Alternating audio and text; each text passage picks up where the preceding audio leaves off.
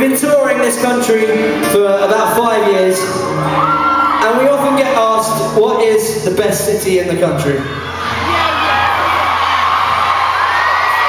As you can imagine, a, it's a hard question to answer. So we thought, on this tour, we would decide once and for all, who has the best city in the country. And the way we're going to decide is by who has the fastest pizza delivery service time. This is the way it works. Every night on tour, Dougie orders a pizza to the stage. He's about to do it now. And we're going to time him how long it takes from the moment he orders it to the moment the pizza arrives here on stage. And the city with the fastest pizza delivery time will officially be the best city in the country. Get it?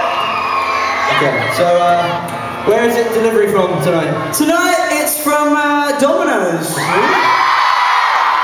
Very fast because they have to do it in under 45 minutes, otherwise it's free. So, now the time to beat everybody is 18 minutes, which is Blackpool. Wait, whose phone is this? This is a very old school phone. This is like the first Nokia that ever came out. Full about iPhones, man. What pizza do you want?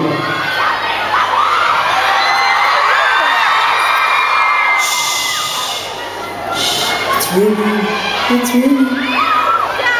Hello, we'd like to order a pizza, please.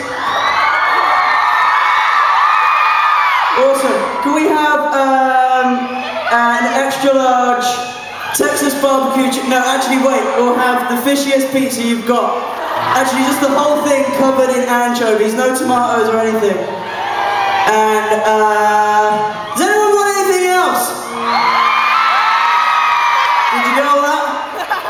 Good, good. Oh, and a large bottle of Coke as well, that would be great.